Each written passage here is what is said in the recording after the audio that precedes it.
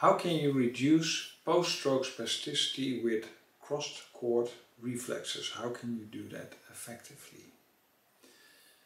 In the work that we have been doing over the last five years with hundreds of post-stroke clients who almost without exception had problems with moving one side of the body, hemiparesis, had problems with spasticity to more or lesser extent depending on the area of the stroke, uh, whether that's more related to the arm, hand or the leg.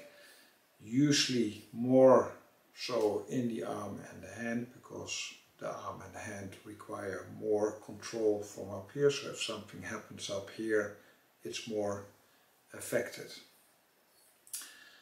What we found out is that stroke and the results of stroke usually in the majority of stroke survivors that have a lesion in the middle cerebral artery that affects the opposite side of the body. Um, we have a resultant problem with spasticity and spasticity is a problem that is significant it often lasting. So it is worth going into this, especially if you understand the research showing how to manage uh, spasticity outside of what is happening, what is common practice. Common practice means that the standard protocols for stroke management do not always include the latest research, the latest insights. What I'm going to share is something we have noticed in hundreds of our stroke clients. Linda, my partner who I do this work with, have noticed after a severe stroke affecting her left stroke side and the first time when I met her one and a half years post-stroke her arm was literally in this position and through the work that I'm sharing with you today she managed to have more free function in her arm and reduce her spasticity significantly uh, more than 50%. This is not one case, this is what we typically see in the clients that we work with. Who are we? As I said, Linda Raderstad, my name is Arjan Kuipers. We founded Brain Rehab, Stroke dot Rehab and we work with clients from all over the world that suffer from a post-stroke condition, usually clients that have tried everything uh, and have been to the top clinics, already had a lot of help, but they're usually left with resultant arm problems, shoulder problems, balance problems, knee problems, usually problems with the foot and with the ankle and spasticity control that is not functioning very well or problems with, with controlling the affected site. Today we're talking just about the spasticity part. My background is in clinical neuroscience, in functional neurology. I've been seeing clients for over 30 years with uh, the results of brain injuries, whether that's an accident uh, or a stroke. The last six years I've been specializing more and more in stroke, especially after teaming up with Linda who sort of fought her way back to functioning almost normal after a severe stroke where she was left in a wheelchair, unable to speak, uh, not much um, and severe spasticity after a year having had the regular rehabilitation. Linda is the kind of person that comes up with exercise and will research uh, as long as it takes to come up with better ways, out of the box solutions. That's what she did. And when she met me six years ago, we teamed up and I showed her how we can use uh, certain reflexes to reduce her spasticity, which she did with relentless training. After four months, she had a significant reduction in her spasticity. So what are these secrets? What are these, these tricks to reduce spasticity? Well, there is none. There is not a one trick that cures it all. If someone tells you that, you have to go around them in a wide bow. What is common is that when spasticity is too much, when you get uh, pain through it, when you cannot move at all, uh, the common choice of treatment is Botox. And uh, that can be a miracle because then suddenly you can move, but it will only last three to four months, and you have to get another shot. So the best option is if you can bypass Botox, that is apart from the allergies that you can develop against Botox. So that is, that is one way. Regular training protocols, um, constraint induced movement therapy, they can all have a big contribution to managing spasticity better. Resistance training can help as well. Those are regular methods to combat spasticity over the long run and if you're lucky you have a therapist that has uh, dealt with a lot of spasticity clients and uh, over time you can manage through those techniques your spasticity.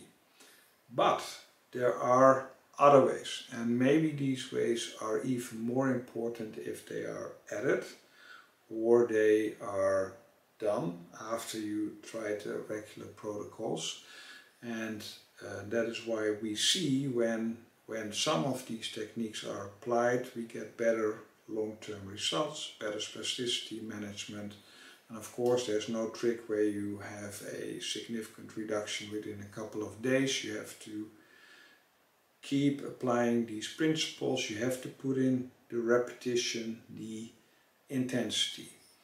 So what are the principles about the additional techniques to reduce spasticity? Well, first of all, there are so-called crossed cord reflexes reflexes, intraspinal cord reflexes that affect how arms move together, how arms and legs move together on the same side, crossed to the other side. There's a lot of research showing that training bilateral sides, so training both sides at the same time, also after a stroke, have a way better effect on uh, hemiparesis, control than training just on one side. It can be used to prime before you do other training, but on their own they can be very effective.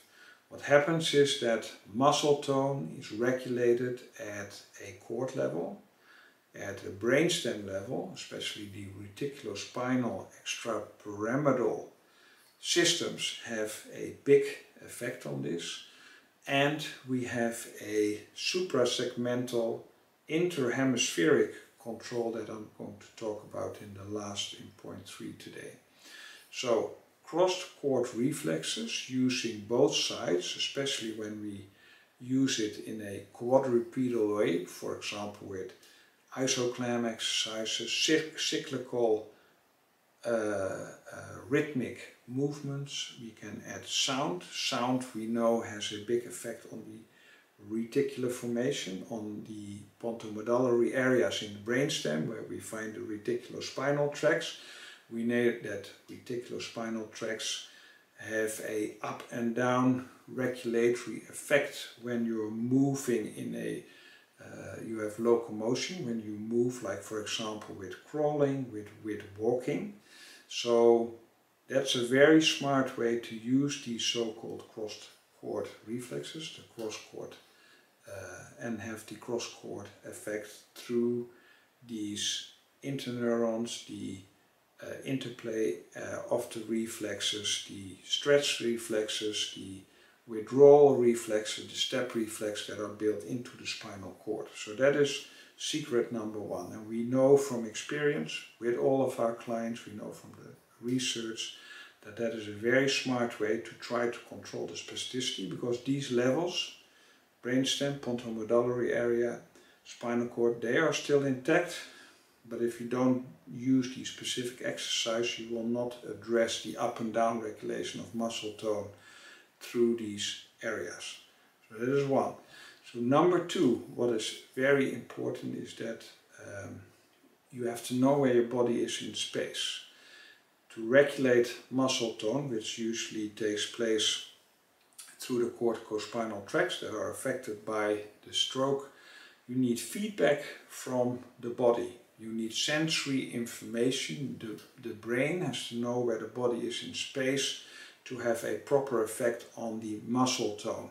So one of the things, the extrapyramidal system, the system outside of the corticospinal pyramidal system, um, incorporates basal ganglia, cerebellum, it uh, incorporates the sensory feedback from body movements and if we look closely at most of our post-stroke clients we see that the sensory feedback the awareness of where the body is in space, where body parts are in space and movement information through the spasticity that doesn't come back properly, we see that this has an enhancing effect on the uh, spasticity post-stroke and the inability to use this site. So we have to make sure that whatever you're doing, whether you're combining it with bilateral movement, quadrupedal movement, you have to add a sensory input, whether that is vibration, electromuscular stimulation. Um, we know in the literature there's a lot of evidence that this greatly enhances the effect, for example, on muscle tone. So that's component two that is like sort of a secret to managing spasticity better or to reduce spasticity over time in a better way. Now the third component is an interesting one.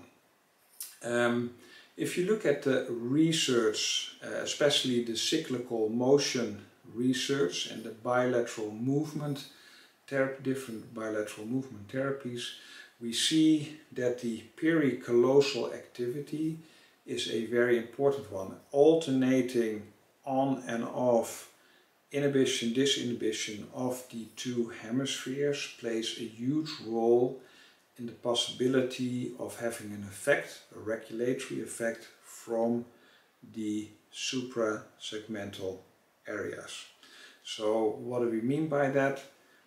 After stroke we know we often have a period where we have some depressed um, unaffected side function. After that we see often a upregulation of the good functioning and that is then usually on the side that is affected in the body, opposite of the affected brain part.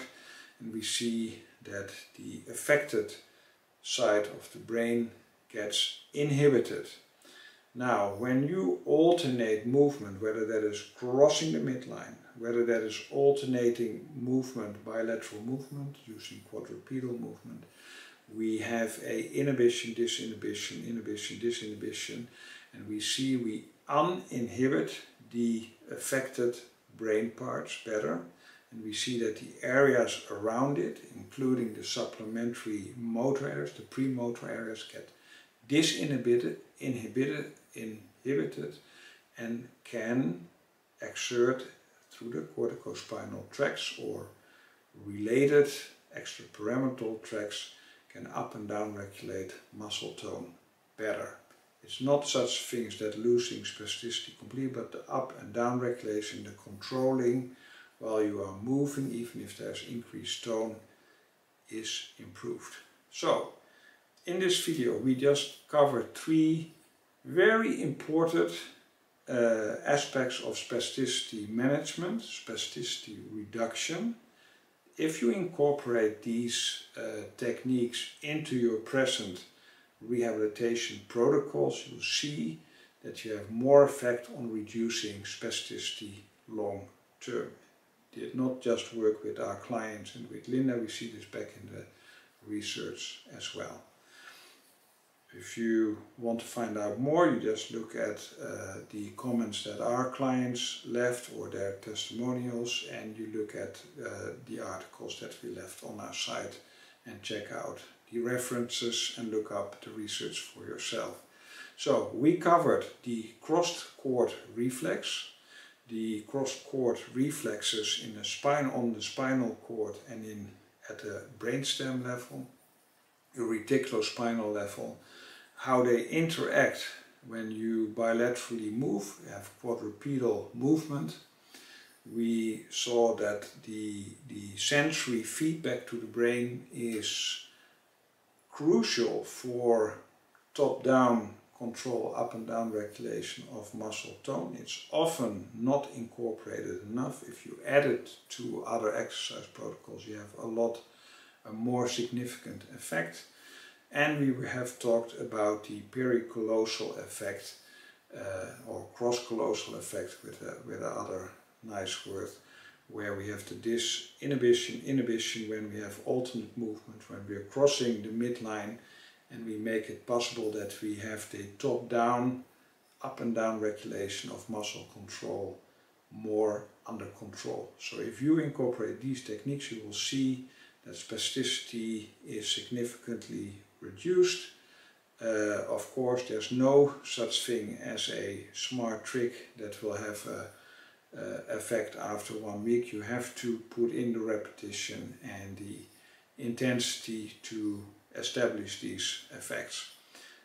That's it for this video. In the next video we will also talk how we can get the foot moving even if no movement was possible and how we can stabilize the ankle so inversion doesn't take place and your clients can start using their feet, their foot, their affected foot and ankle in a better way and eventually lead up to losing their brace and be able to use the foot without support and relearn walking better. That's for the next video. Hope this was interesting for you.